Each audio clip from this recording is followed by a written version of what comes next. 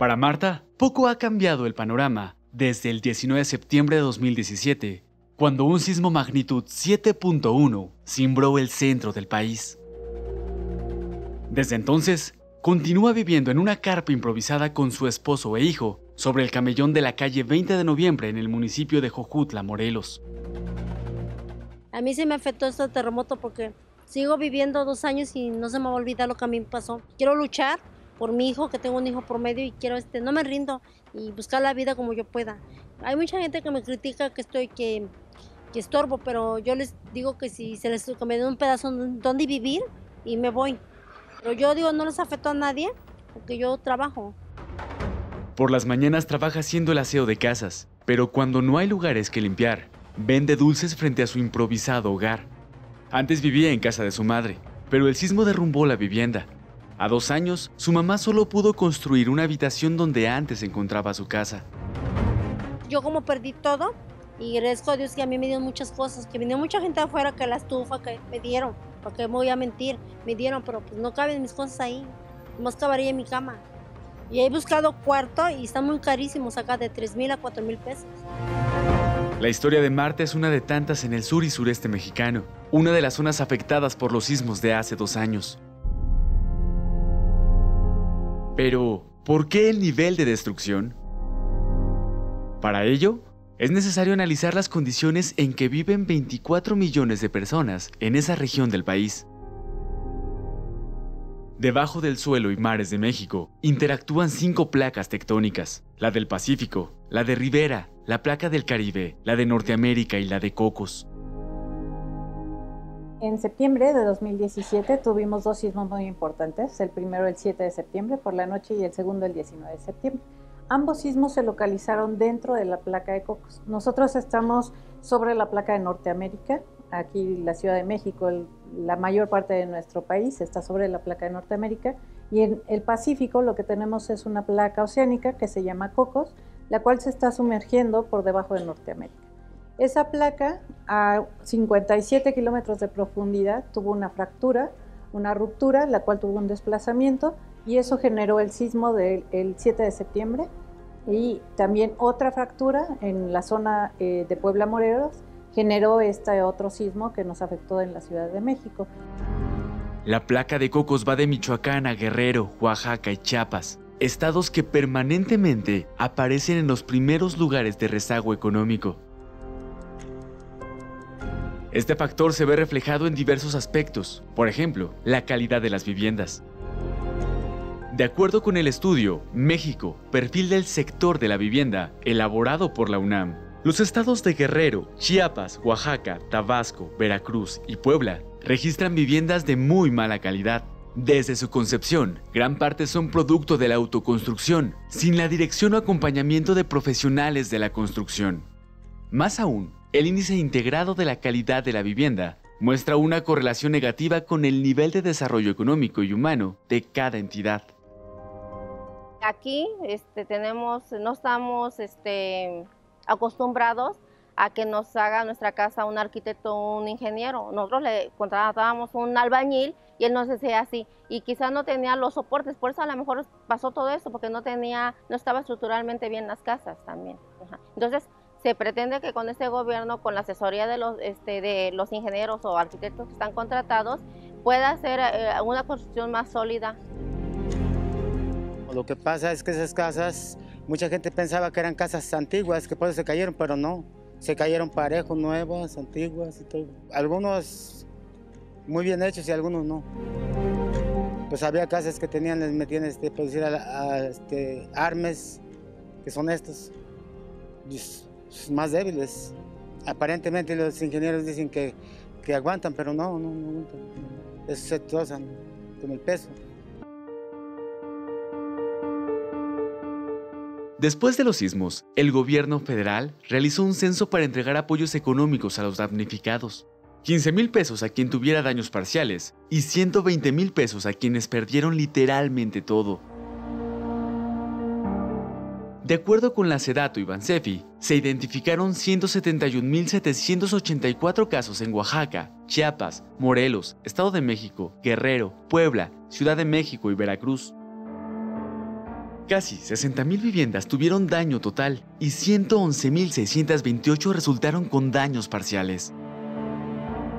El estado con más viviendas reportadas con daño total fue Oaxaca, con 26.949. Le siguen Chiapas con 14.073, Morelos con 6.108 y Puebla con 5.638. Después del primer censo, comenzó la dispersión de recursos. Sin embargo, surgieron cuestionamientos sobre los métodos que siguió el estudio y la entrega de recursos. Hay denuncias que hasta la fecha persisten por la insuficiencia de los fondos y falta de equidad en la entrega. Primero llegó Funden, hizo su censado, pero un, mal censo, porque la gente que vino no estaba capacitada, no fue adiestrada para, este, hacer un recorrido este, bien hecho. Este, empezaron a hacer, a hacer censos, pero también pidieron que tuvieran este, la propiedad a nombre de la persona que estaba, este, estaba siendo censada. Entonces aquí eh, hay la particularidad de que en un terreno hay tres, cinco o seis familias. Entonces ahí en esos casos hubo solamente un fonden, si acaso dos. Por si fuera poco, 33 familias de la colonia Zapata en Jojutla, Morelos, fueron engañadas. La oferta resultaba muy atractiva. Supuestos arquitectos y asociaciones se ofrecieron a reconstruir sus viviendas, aun cuando el costo de los materiales y mano de obra superaran los 120 mil pesos otorgados por el gobierno federal a través de las tarjetas bancarias del Fondo para la Atención de Desastres Naturales. Se dio el apoyo de Fonden, llegaron constructoras pero no estuvo regularizado porque llegaron constructoras y aquí a la vecina, a varios, de aquí de la colonia Zapata hay 33 defraudados. Llegaban, hablaban con el damnificado, le mostraban planos o un este, prototipo, eh, hacían convenio, les pedían las tarjetas y algunos jamás lo volvieron a ver. A nosotros nos dieron 120, pero él nos dijo que les diéramos las dos tarjetas pues nosotros no sabíamos porque en realidad pues nunca hemos tenido una tarjeta de ese tipo, ¿no? Sino que a nosotros nos dijeron que esto lo teníamos que entregar, pero eh, nunca nos dijeron que lo del NIP de atrás era para, para abrir esas tarjetas. Entonces nosotros cuando llegó el ingeniero, porque a mí me vieron a presionar, me presionaba el, lo del Fonden que si no nosotros no hacíamos en un mes, ah, empezamos a trabajar, nos iban a quitar el dinero. Entonces, pues nosotros buscamos ahora sí que lo que hubo. Durante el primer censo, se marcó de amarillo y verde, de acuerdo con el nivel de daños, a las viviendas afectadas, pero los damnificados aseguran que no todos recibieron apoyo. Incluso nos dieron un número, una etiqueta y se revisó la, la casa. Eh, le pusieron color amarillo que tenía daños parciales.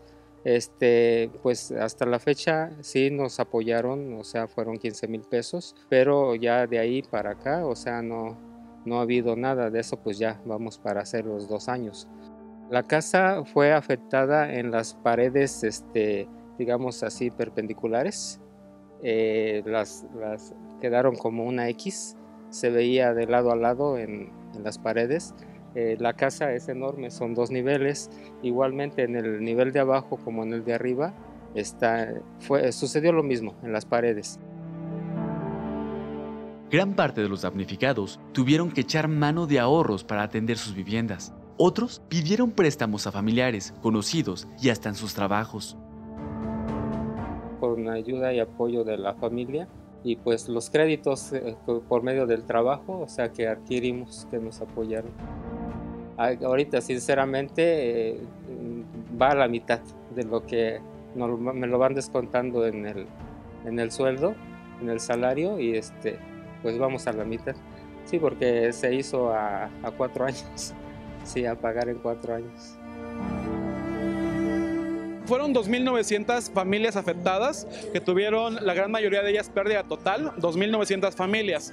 Esto implica pues más de 15.000 personas damnificadas de manera directa, más las indirectas porque se nos cayeron alrededor de 500 locales comerciales, lo cual implicó pues mucha pérdida de empleo y desarrollo. Entonces, bajo este esquema lo que hemos generado es hacer un censo en su momento, ¿no? Nada más que puede ser muy variante. ¿A qué me refiero con esto? Que hay casas que están al 100% ya, hay unas que están al 50, al 80, dependiendo a la inversión o incluso las posibilidades de muchas familias, en virtud de que muchas de ellas pues tuvieron que endeudarse o sacar créditos.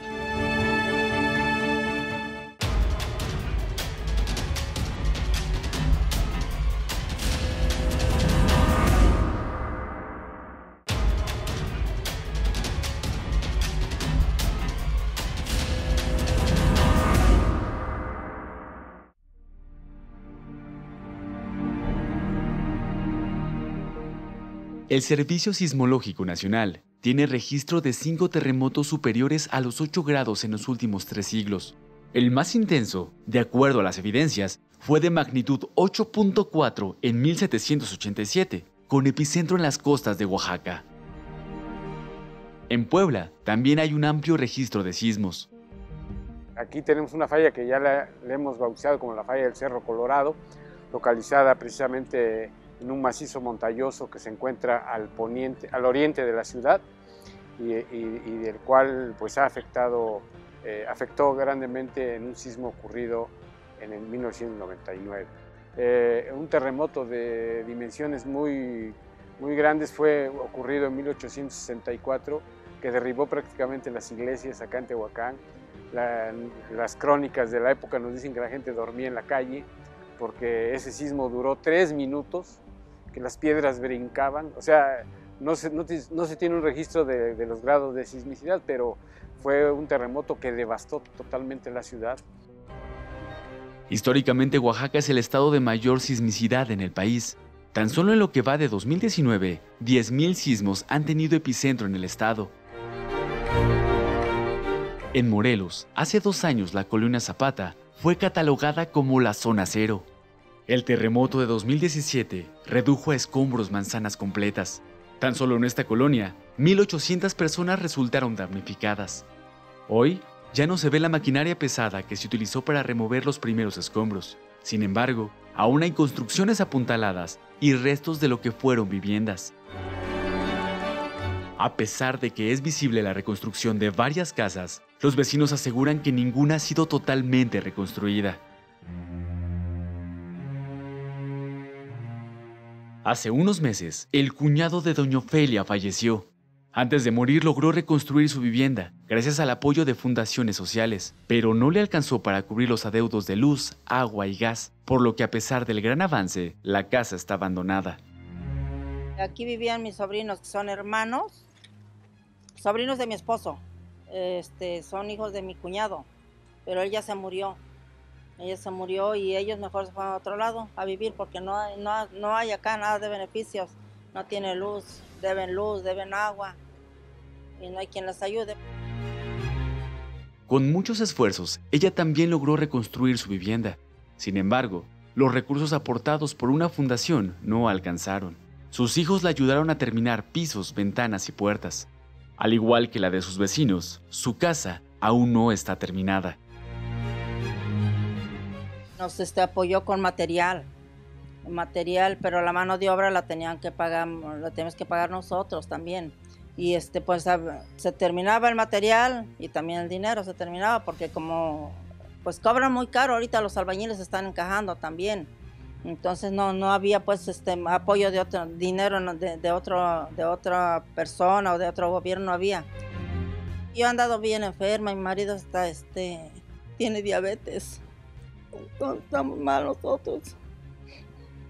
Yo me acabo de caer, miren, no me ando cayendo, porque estoy muy nerviosa, muy preocupada, pues. Mis hijas me dicen, ya no se preocupe, mamá. Le digo, ay, es que siento feo. En 50 años que estuvimos acá, fuimos haciendo la casa y nuestro patrimonio. Ahorita, ¿cómo? Ya estamos grandes, no trabajamos. Mi marido trabaja por su cuenta, no tenemos apoyo. Los sismos de septiembre de 2017 también afectaron 134 inmuebles protegidos por el Instituto Nacional de Antropología e Historia. De hecho, varios proyectos de reconstrucción de vivienda siguen en espera del visto bueno de las autoridades culturales. Tras la emergencia, don Pablo comenzó a reforzar la estructura de su casa. Sin embargo, el Instituto Nacional de Antropología e Historia detuvo la obra. Su vivienda tiene una antigüedad de 110 años y está catalogada como patrimonio cultural. Yo estaba reforzando esta, viene primero este, este, obras públicas y me dice que no puedo hacer yo nada porque no está permitido, que si tengo permiso, aquí está lo que es el permiso, lo que es este Fonder por daños, daños este, eh, totales o parciales, que esto nos ampara. Obras Públicas se acercó conmigo. Ellos sí han tenido roce conmigo. Dicen que van a bajar un recurso federal. Ese recurso federal este, viene por medio de Obras Públicas, que se nos va a amparar este, una, este, una cantidad monetaria para reparar toda la casa. Como es patrimonio histórico, que dicen ellos que es posiblemente para reforzar parte de la casa o totalidad de la casa. Depende del recurso que, que autorice el INA para, para ver este, cuánto alcanza.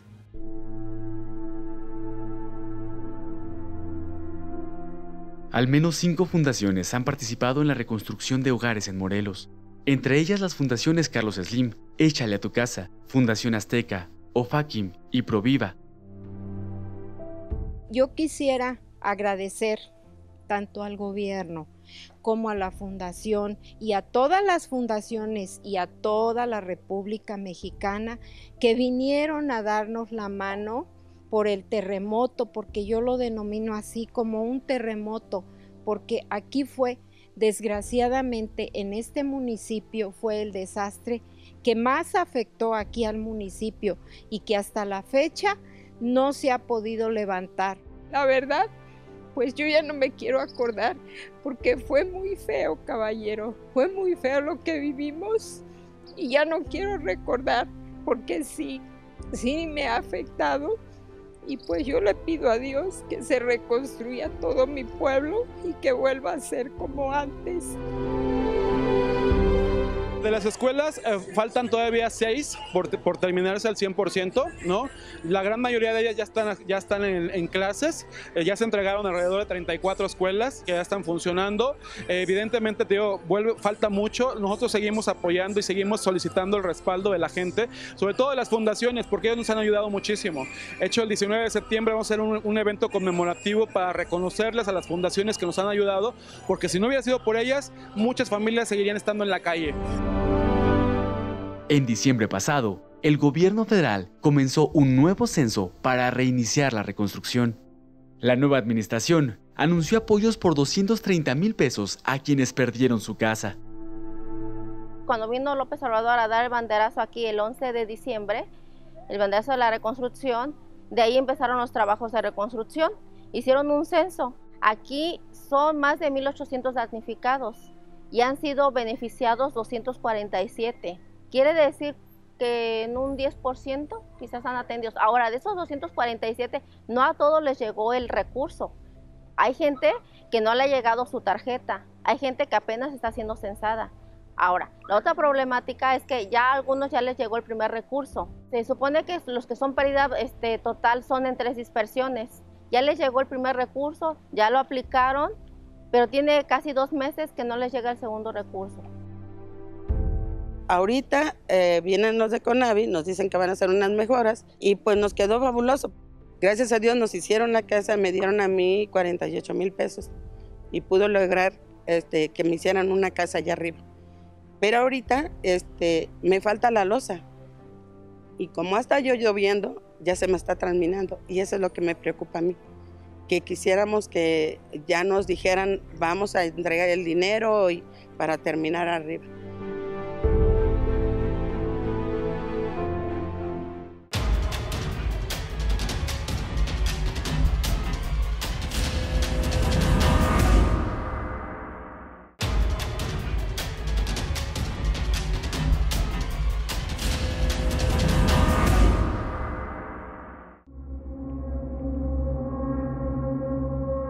Tras los sismos, las autoridades han modificado los lineamientos de los programas de desarrollo urbano con el objetivo de cerrar la puerta a la corrupción y el desvío de recursos. En primera instancia, ahora las obras deben ser supervisadas por un asesor técnico que verificará que las construcciones se apeguen a las normas en la materia. Los desastres son oportunidades para ir mejorando y esto se ha ido reflejando también en adecuaciones y adaptaciones, actualizaciones a los reglamentos de construcción. Y después de los sismos del 2017 se está haciendo una revisión para ver la necesidad de hacer adecuaciones al reglamento. Muy importante es que si bien el reglamento es el principal instrumento que nos permite tener un crecimiento seguro dentro de las ciudades, es muy importante también que este reglamento supervisar que se aplique. Los asesores técnicos recibirán el 7% de los recursos. Los sismos del 7 y 19 de septiembre de 2017 no solo cobraron la vida de cientos de personas, sus repercusiones tocan otras fibras. Actualmente hay familias que se rompieron en medio de disputas legales y que han dejado a varios viviendo literalmente en la calle. Nos hizo cambiar la vida a mucha gente, porque ahorita he oído que mucha gente andan en pleitos de las casas. Ahora sí que entre hermanos hay este rencores por lo mismo de que pues a unas, como le digo, hay tienen problemas con su terreno, con su misma familia, pues. Y este pues ojalá y Dios quiera se arreglen sus problemas para que tengan su casa porque mucha gente también se fue a rentar. Yo le voy a decir, soy blanca. Digo, bueno, ¿para qué? Me, usted me da esto. Como dicen, me daba unas tres, cuatro leches, dígame. En cuatro litros de leche para ellos dos, para mi hijo, porque somos tres. Ahorita anda viendo a sus hijos que están en México porque los llevaron para allá, porque aquí no teníamos nada. Nos quedamos todo eso bien pelón. Los damnificados también reconocen que al principio la ayuda corrió a raudales. Cientos de voluntarios se sumaron a las labores de rescate y remoción de escombros que encabezaron las Fuerzas Armadas. Comida, ropa, medicinas y hasta enseres domésticos llegaron a sus manos. A pesar de ello, aún hay familias que permanecen con una lámina sobre sus cabezas. No se ve lo que habían prometido y lo que prometieron, no se ve. Muchos han fincado de lo que ellos han tenido y los que no tienen, porque nos los han dado, digo, porque a nosotros, pues Digo, no nos han dado mucho, pero lo más que podemos ahorita nos dieron algo. Pero pues con eso no va a vivir uno. Más nosotros que ya no trabajamos. Nosotros ya estamos grandes. Ahora, dinero que llegó, dinero, nosotros oíamos dinero que había llegado. ¿A dónde está ese dinero? ¿Dónde? ¿Ese dinero? Hasta ahorita estamos esperando, pero pues no, no. Lo poco que tiene uno ahorita ahí es porque nos han regalado, los vecinos, o sea, gente, gente que pues gracias, o sea, se les agradece que en su momento pues apoyaron. Se puede ver la realidad, o sea, ahorita todavía falta mucho, mucho, porque para que Jojutla vuelva a ser lo que era antes, pues yo pienso que falta bastantísimo. Todavía hay muchas casas a los alrededores, no nomás yo, de mis vecinos. O sea que tenemos la misma problemática, o sea, de que pues por X o por los que pueden y se encharcaron, pues qué bueno, ¿verdad? Pero los que no podemos, pues ahora sí como Dios nos dio a entender, ah, desde el principio, bajo lonas, bajo, o sea, viviendo.